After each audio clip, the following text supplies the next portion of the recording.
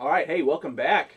We are moving on to the Italian peninsula. Yes, yes, we need some pasta. Yeah, maybe a little bit of nice red wine, something along those lines. But first off, let's do a little bit of recap. As we saw El Alamein, you've got Bernard Montgomery in the British racing to the west from El Alamein, and as the Americans are coming in from the east, if you will, from Casablanca, Oh, well, he's headed west. We're headed east. Yep. Yep. And we're meeting In here Tunisia. in Tunisia, and specifically in the Battle of Tunis. Yes. which, if you have seen anything of a map, Tunis is the little bit that jumps right out into the Mediterranean from Yep. Tunisia Mhm. and is a very good launching point for another big island. The boot Right. is kicking, Yes. and of course, that would be And for- Sicily. And fortunately for us, uh, we mentioned a, couple episodes ago that that island Malta Oh, yes, yes. that is kind of in between Africa and Sicily. hmm The British held it, despite Right. the siege, despite the bombings. They held the island um, for the entirety of the war, which means going into Sicily is now easy. Yeah. I'm a, I mean, it's not gonna be easy, Well, easy, no, but you know no, what I mean. Of course, it's easier for the Americans to really just jump, and the British, I'm sorry, Yeah, we can't Got it, leave them got it. out. gotta include those the, the brits but the jump from the continent of africa onto now well sicily and eventually into southern italy but Mhm.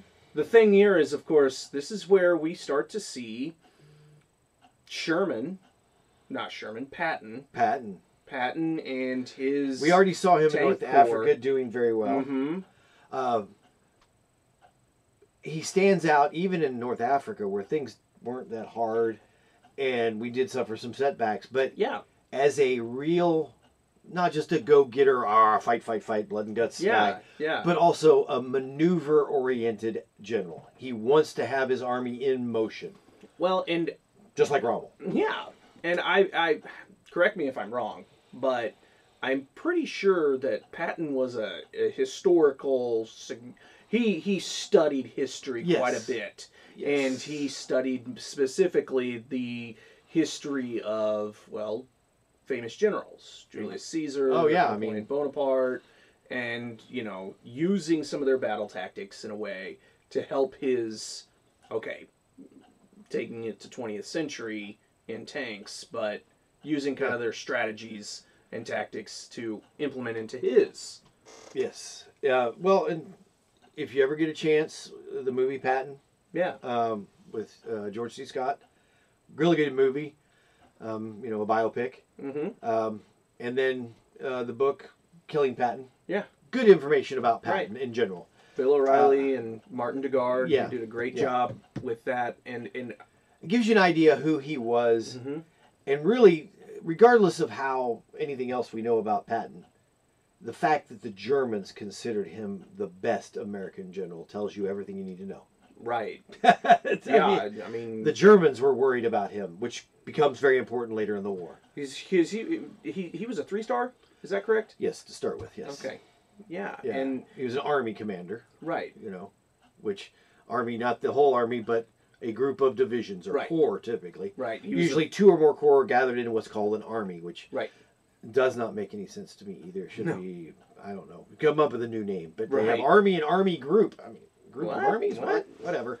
because he was the third army division, correct? The third army, third, third army. Third army. That's right. that's his command. Right. Third army Right. through the whole through the whole well through most of the war. Most of the war. Omar Okay. Bradley, another guy who was very close to him in age in West Point, Mhm. uh, was a fellow commander. Also very good, much more meticulous, much more. I don't I want to say engineer based, but he he was a, probably a good middle person Mm-hmm. between Montgomery, who was very set piece. Every everything is orchestrated down to the minute Oh my gosh. and yeah. Patton, who could literally turn an army on a dime And go- at, speed, Yeah. and then you know Bradley probably fits in the middle of those. Yeah. That. Yeah. but that- he'll come in more in Normandy. But Yes. um, those are kind of our big three commanders. I mean, you have Mark Clark, which we'll meet here in Italy. Or Great car- name though. Yeah. I mean, you know, if he had a car dealership, he would have been set. Hmm. Hmm, that's You a good idea. So anyway, we see now the jump here from Tunisia into the the football of Sicily, and what we see, of course, is this is geographically speaking, Sicily is mountainous. well, all of Italy, not just Sicily, but I mean, Right. the whole Italian peninsula is basically the Apennine mountain range. Right. Uh, so not easy terrain. Definitely No. not what Winston Churchill called the soft Oh, underbelly of Europe. Yeah. Okay. Um, yeah, um, I mean, it's softer in the sense that you're fighting the Italians for the most part instead of Germans, but that's that's kind of a stretch. right. I mean, Churchill even wanted to invade Greece, which is even more mountainous. Oh, that would be terrible. Um, but Just Churchill had an, he had an ulterior motive. Of course. he wasn't worried about defeating the Germans alone. He wanted to stop the Soviets, but Yeah, that's well- that's a different strategy. Then the Americans were not interested. No, we want They are our allies. Our goal is to defeat Nazi Germany, and then we'll go home because Yeah. that's what we do. We're Yeah. Americans. Right. That's how things go for us. We're here yes. for one job. Once we're done, we're going home. We're Yeah. not staying. Well, we, we're lo- we're wrong about that, but later on, Well, you know, that's what our thinking was. it's foreshadowing, but we'll get there yes. But Husky, later. Yes, as an operation, Husky. first big airborne operation for the Allies, Right. um, and then of course you have Montgomery and um, Patton. Patton. hmm They land kind of at the corner. It's not really a football; it's more like a triangle. Yeah, but yeah. if you think of it as a triangle, Yeah. and the goal is Messina, which is up in this Mhm. corner here. We Mhm. land down in this corner. hmm Montgomery has to take his forces and go the short side. Yes. Patton has to go out and up. Oh my goodness, really? That's the race. Oh wow. I, and, and unfortunately, he's against very second-rate Italian troops. Because I mean, the first-rate Italian troops are in prisoner war camps in America Right.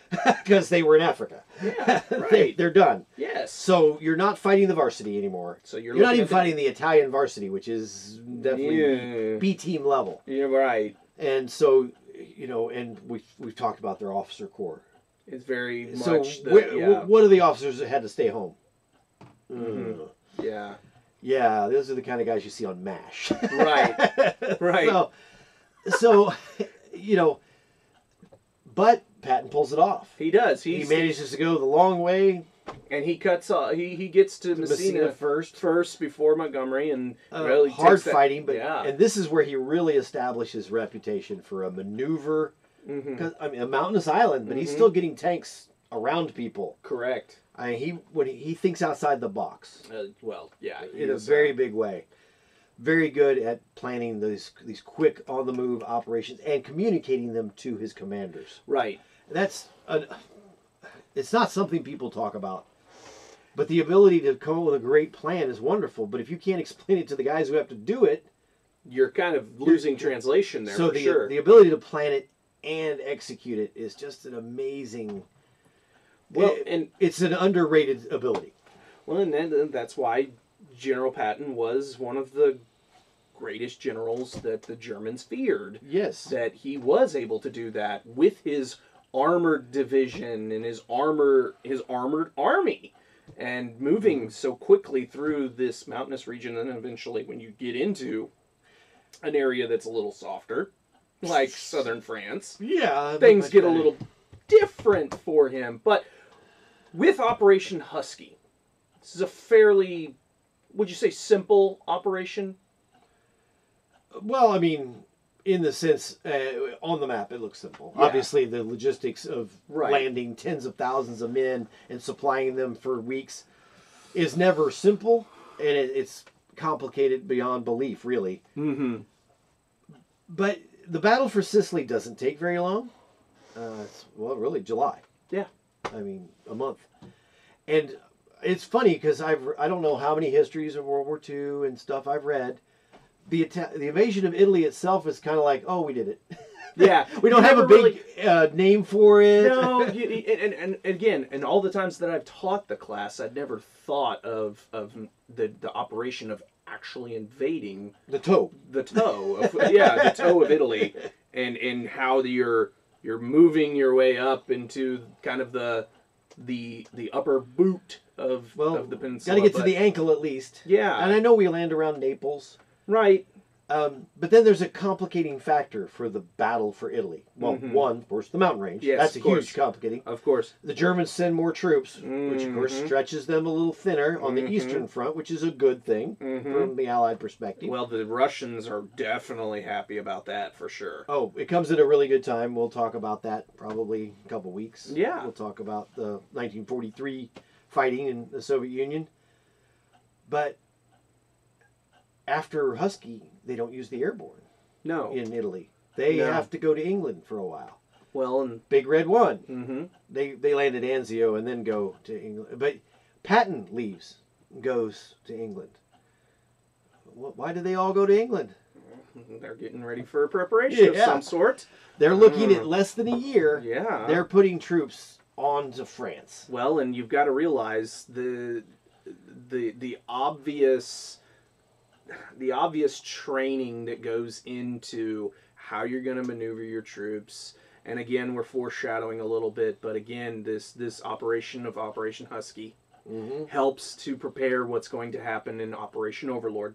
Well, it's especially for the airborne. Yes. It changes how they're going to do things Right. because they learn from their mistakes because mistakes cost lives. Of course they do. How you know how many sticks did they drop into the ocean? Oh gosh. um, which is not a fair fight. Uh, the ocean wins. Yeah, of when you're weighed down 120 pounds of stuff Mm. and you land in water, you're done. Yeah. There's no way. Just no way you're coming out of that. Nope.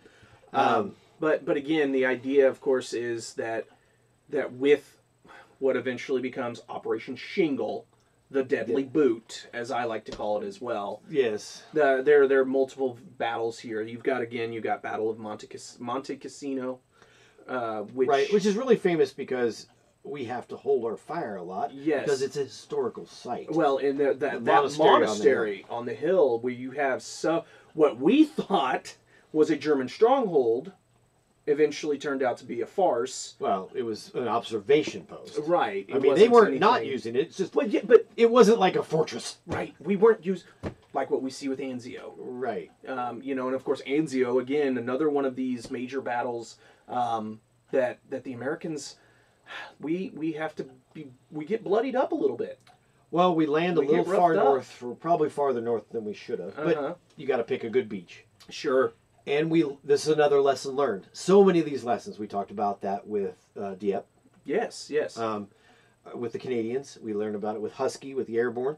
We learned about it at Anzio. You've got to get off the beach quickly and push inland. You've got to get depth. well, if Otherwise, when the counterattack comes, you got nowhere to go. If you think about it, I think it, it- battle tactics. You Mhm. know, if you've got a guy who's up on the higher ground, of course, if you're in the mountains. Well, if you're coming out of the ocean, you're probably on the low ground. Yeah, so so you're coming out of the ocean on the low ground. You got a guy who's on the high ground. He's looking down at you. You're kind of a sitting duck here. Yeah, he could be like eating a sandwich and lobbing a grenade. Yeah, exactly. so you got to really push up and get as much as you can up onto your enemy. These again all are fortune telling secrets, if you will, of what is to come in about a year. Yeah, eleven little less- months from ten, now. Well, what, 10 months? Yeah, roughly. After Anzio? roughly about that. Yeah. So and the nice thing, of course, is you know Italy allows fighting year round because the weather's nice. Well, yeah, you're, Oh. you're in a Mediterranean climate. You're not having to worry about snow. Other than the rainy season, which is brutal because you're trying Yeah. to climb up muddy mountains. But Mm, Italy is, you know, it is the war for the the Allies for quite a bit of this time frame Sure. in, in 1943, early Mhm. 1944, because it's the only place we're fighting the Germans head, head to on, head. right? But it's also during this time that Italy quits. Yeah. Uh, well, and again, you got to realize Mussolini has been in, in in in office for now over the 20 year period, Yeah, well, it's right at 20 years in, And- in, in 40, 43. Yeah. and I think he's starting to realize, ah, I'm not winning much. Well, his people realize it if nobody else does. Yeah. Um, He probably didn't. You know, he probably still, as he was going down on his dying breath, I'm El Duce, and of course, yeah. yeah. Well, I mean, he he sur- he doesn't surrender. No, he doesn't. Uh, is it Victor Emmanuel? I do believe is the king. mhm. A group of people basically launch a coup, Right. and then Hitler rescues him.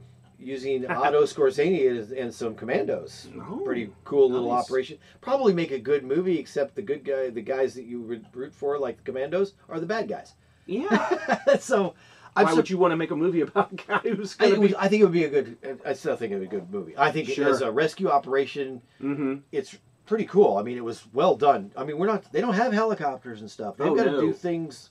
You're you're You get on there, foot and, and, then- but anyway, they they get Mussolini out and they take him to Germany, where he continues to rally his fascist supporters in Italy, which are still plenty. Um, yeah, but because people don't like change. No, of course not. But again, you know, like like what we saw in early '43, uh, sorry, early '44. My apologies. We do see a large number of Germans starting to flood into here, oh, Anzio, Oh, it's a other German places. war. Yes, It's not an Italian it's war. not. They're no, out of the war. No, basically. yeah, and and which again bogs the Americans down. Well, when you have to fight for every you know Literally, over a mountain range, and Yeah. then you got to fight through the valley with the guys on the other side who have the high ground. Right, right, Then you have to go over that mountain range. right. It's just it's it's too much. It's you have to. It it works well for a Montgomery or a Mark Clark. Set piece, massive artillery fire. Sure. You you basically fight it almost like a World War One battle. Yeah. You just have to suppress the enemy so badly. Um, that it's they're they're breaking th- their you have to destroy them with artillery before, because otherwise your troops have no chance to get to them because Right. it's just too hard. right. And but I mean, uh, the Allies keep pushing up the boot. Mm-hmm. I mean, they get to what right before it fans out, really by the end of the war. Yeah, right there about the right just on the yeah I would say the foothills of maybe the the, the Alps, but Yeah, not the- so much. What is that- it? The Po River Valley. Mm, yes, yes, so yes. yeah, But the thing here is by June of forty four, Rome is now Rome falls. liberated, yes. and it is now becoming a well, for a lack of a better term, it's now in Allied hands, and we are Well, Italy has surrendered. yeah Um, it, Rome has fallen. Uh, you know, it looks good. It's just at the rate we're going, we're not going to conquer Germany from the south until like 1953. Well, yeah, because you're well, think about it. You go, you go from Italy, where you have to to literally fight tooth and nail up these mountains, and then you go into the Alps, which are bigger. which are more, more. Yeah. And then, of course, after you get over the Alps, what are you in? You're in Switzerland or you're in Austria. Or you're in Germany where they're really mad. yeah, so So not the greatest. this is solution. not going to be. However, and we'll talk about this probably next time Yeah. when we talk about the air war. Yes. These bases in Italy allow us to range on the Ploesti oil fields in Romania Oh, really well. that helps. I mean, shorter range bombers doing multiple attacks. Because the Germans were very good at disguising it. We'll talk more about that later, I hope. But uh, you've got this air war that's going on, and these bases they get closer and closer to Berlin. and, that's and know, that's of course our our common goal for both the Soviets as well as the Americans and British. well, and when you think about it, it's the same goal we have in the Pacific. Correct. Take an island that can be used as an airfield, so Yep. we can extend our power Yep. farther, farther along. and Uh, make it again closer to Tokyo. you know, when you get a lot of those, you know, when you get B 25s, B 24s, B 25s flying overhead, that's scary. really scary because, you know, they're the shorter range ones. Yeah. Um, the B 17s, they're really long range, so you know they can get there. Yeah. But when they start having fighters with them, that starts That's getting where you think, really mhm. problematic. In fact, I do believe uh, uh, the Tuskegee Airmen, that squadron, I can't remember, Correct. the Red Tails, Yes. flew out of Italy. Yes. Um, They started, of course, in North Africa, and Yes. and then as we moved into Sicily, and then of course into northern Italy, they did do a lot of escorts into, heck, well, Germany, yeah, all the way to Berlin. Romania, everywhere. Yeah, they're Um, everywhere. So, uh, you know, that's, uh, you know, I've, I've seen Tuskegee Airmen, and then there was the other one, The Red Tails. the Red Tails. I didn't Mhm. like that one as well. Yeah, I that was more that- Hollywood. I was gonna say that. that Tuskegee seemed like a more of a historical drama. Right. Yeah. You, well, it was also older, so Yeah, things were a little bit What, 95? somewhere around there. know. But you have people like Laurence Fishburne, and you have uh, Cuba Gooding Jr. Yeah, know, yeah. uh, it is what it is. But But uh, that's Hollywood. Unfortunately, they like to. but we don't have a lot of good. There's uh, you can watch the movie The Big Red One. Sure. I don't recommend it. No. we watched it last summer. Uh, Uh, not so, not so, no, no bueno. yeah. Well, when you were in your when you were in your teens in the '70s watching Getting it, to see an R-rated movie was probably more of an attraction. Um, Um, but- there's not a lot. There is a movie called Anzio, correct. But I, I, there's just That one's a a little different, though. uh, Patton.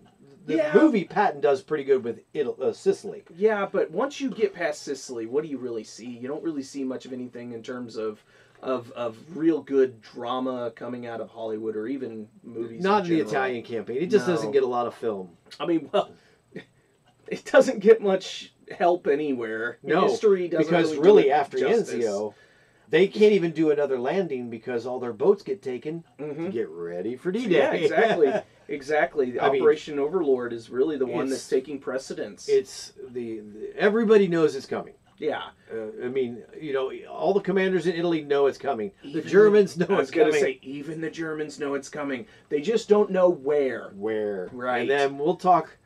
We'll talk when we talk about the air war. There's a lot that goes Ooh, into yeah, that. That little uh, kind of shell game that the Allies play. So Uh huh. I think uh, I think that's a pretty good place. I mean, I wish we could say more. I mean, there was a lot of bravery. There's a lot of There is, with- there that- is. We're not trying to downplay the Italian campaign, but it's just not other than exciting like what you see in other places. other than fulfilling, sort of fulfilling Stalin's wish for an op- another a second front. Yeah, Italy doesn't really change the complexion of the war a lot, other than we do knock Italy as a nation out of the war. yeah, but They again, surrender, but we're still fighting for it, uh, and it ties up a lot of Germans. sure. Many, many true. divisions of Germans. Uh, the general there, Kesselring, Mm-hmm. who was actually, I do believe, a Luftwaffe general, but he was commanding ground troops. well, Um, you know, you got to really you got do. develops. Uh, he's as a defensive uh, general, he was terrifying. He, I bet. he knew how to use every bit of that terrain to slow things down, which is again why we wouldn't have conquered Berlin until 1953, if ever. right. Um, if we were trying to push our way up the boot into the Alps, Well, Yeah. that would have been a horrible way to go. Good luck. Um, so, but Yeah, I think again. Next time. next time, I think we'll, we'll talk about the air war. Yeah. because that's that's one where you got all sorts of sexy movies, you got Oh, all the yes, of course, planes, of all those things we love. Yes. You guys have a great evening. Hopefully, you uh, again subscribe, like, and share.